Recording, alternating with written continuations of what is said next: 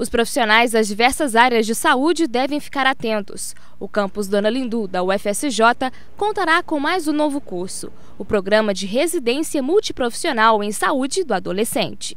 O programa ele foi criado né, a partir de uma equipe designada de professores dos cursos de enfermagem e medicina do CCO, FSJ, e que vieram trabalhando nesse projeto, sendo que na primeira semana de dezembro nós tivemos a grata satisfação do programa é, de residência multiprofissional em saúde do adolescente ser aprovado pelo MEC. O curso é voltado para profissionais das áreas de enfermagem, nutrição, odontologia, psicologia, serviço social e fisioterapia.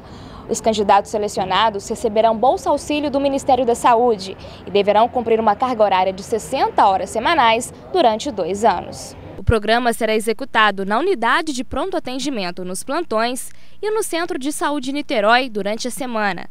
O projeto é pioneiro neste segmento e tem a atenção voltada ao adolescente. Vai ser um grande benefício, tanto para as famílias, né, os pais desses adolescentes, como para os profissionais que vão estar aqui conosco, que vão estar se especializando na saúde do adolescente. Isso não tem em Divinópolis, é um trabalho pioneiro aqui no Centro de Niterói juntamente com a Federal, né, com a Universidade Federal daqui.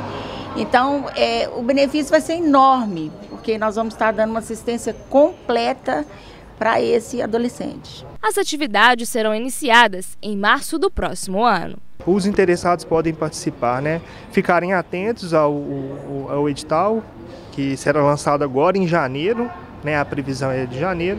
E o, vai ser feita uma sequência de, de etapas né, da, dessa, dessa seleção e que o, o edital vai explicar tudo.